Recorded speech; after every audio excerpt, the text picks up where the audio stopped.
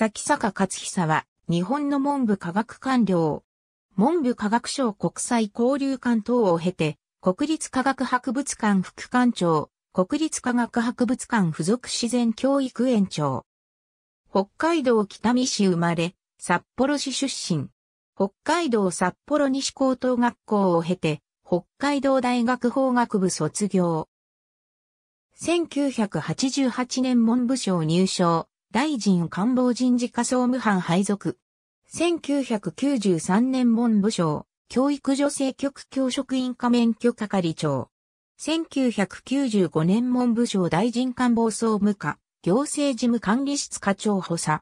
1996年北茨城市、教育委員会事務局教育次長。1998年科学技術庁、科学技術振興局国際化、国際交流推進室長補佐。1999年経済協力開発機構科学技術産業局出向。2001年東京都教育委員会学務部都立高校改革推進担当課長。2003年文部科学省スポーツ青少年局企画単育課企画官。2005年内閣府沖縄振興局総務課企画官。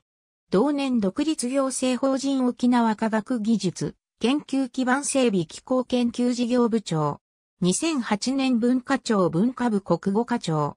2010年文部科学省科学技術学術政策局国際交流館。